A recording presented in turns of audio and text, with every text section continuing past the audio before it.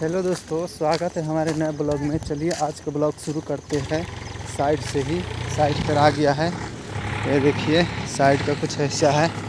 अभी कुछ काम नहीं चल रहा है साइड पर। कुछ काम आ रहा है तो फिर आप लोग को बता रहे हैं। देखिए, इसका हवा भी थोड़ा कम है। गाड़ी का, हमारा हेड्रा का।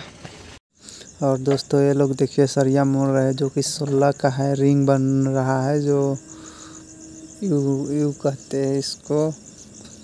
और अकेले देखिए कितना मेहनत कर रहा है। अकेले सोलह के सरिया मोड़ दे रहा है।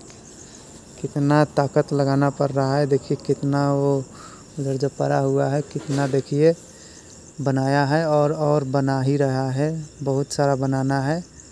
ये देखिए कैसे बना रहा है। सब फाउंडेशन में लगता है फाउंडेशन में।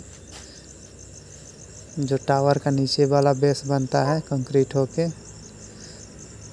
साइड पे तो मैं जाता नहीं हूँ। सिर्फ़ हमारा स्टोर में काम है। ये देखिए कैसे मुड़ रहे हैं।